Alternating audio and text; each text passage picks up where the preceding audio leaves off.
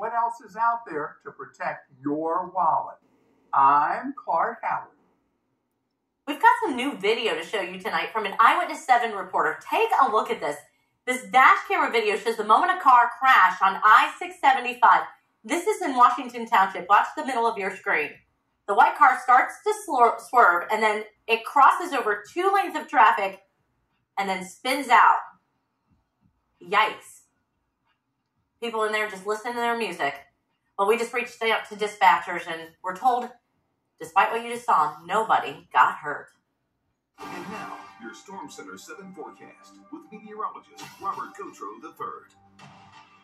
I tell you, it has been nice to see the sun today. I think so. After yeah. the last, I don't know, couple, what, Fridays? We were talking about that earlier. I know. Last Friday was the last dry Friday since like early April. I want to say April 7th. So well, we went a whole month without a dry Friday. And then we had that stretch last fall of mm-hmm. all football Fridays, That's all true. dry. I forgot about that. It's crazy because I've worked here for so long and I remember all these football games that were just drenched. And to have a season that was dry, I couldn't believe it. I don't know why Ohio is sticking out with Fridays, but we're back to, I guess, quote unquote normal this Friday because there is the chance for rain. So Yeah. the last dry Friday was just a few days ago. So far, we've had about 18 Fridays, four of which, including last Friday, have been dry, where at least a trace of rain was not observed. And so as we move into this Friday, it looks like we'll have another chance for rain. Now, it doesn't necessarily mean it's going to be a washout, but so far, Fridays of this year, if you add all the rain together,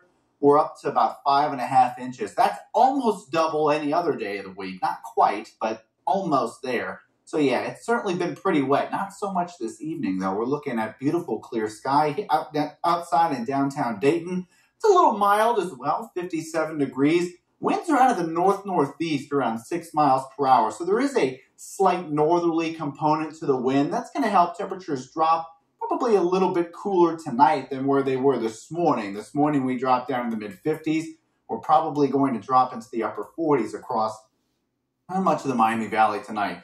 Right now, 57 in Dayton. You can see most of us still hanging on to the 50s. Even old Richmond over here is hanging on to 50, but she'll be in the 40s soon enough. In fact, you can see here in Dayton, temperatures dropping to the upper 40s a little bit before sunrise tomorrow. So again, a little bit cooler, but then into tomorrow, we're back in the mid 70s.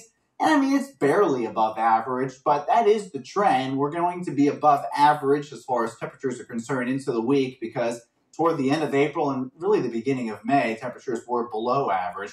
And we're looking at some clear skies. That's going to help the temperatures drop a little bit as well. Not just Ohio, but much of the Midwest, including Michigan, and even as you head into New England, from basically Indiana to Maine, we're looking at some clear skies at the moment. It's been a little bit active in southeastern Kansas as well as Missouri, and we're looking at some weather there. A lot of tropical moisture heading into the Gulf Coast of Texas and Louisiana. But no moisture for us, no humidity. You can see heading into Wednesday morning, things are looking pretty clear, so it should be nice tomorrow morning for your commute, as well as tomorrow afternoon, looking pretty good. Here's a look at 3 o'clock, mainly clear skies. Thursday as well, looking quiet. You can see a few clouds kind of coming in Thursday, and especially, I'd say, Thursday evening, an increase in cloud cover leading into kind of a wet Friday. You can see the seven day forecast here. Temperatures climbing up to about 80 degrees Thursday. Now, the last time we hit the 80s was April 20th. We hit 83 degrees. So it's been a little while since we've actually been in the 80s as well. Now, that is above average, but you know, it's been very, very cool, it seems like, the last several weeks.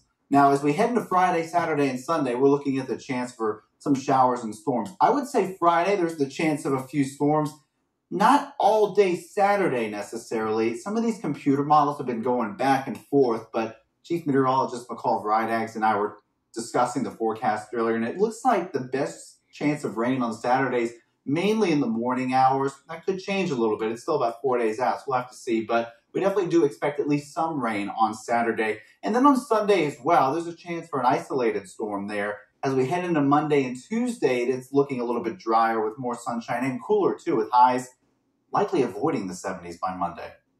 The issue here is to balance the need for early detection with the problem of overdiagnosis and over